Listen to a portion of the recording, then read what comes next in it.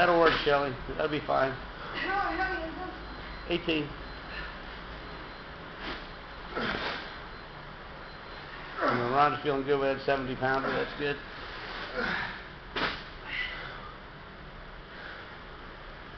Maybe we'll get some serious grip strength too.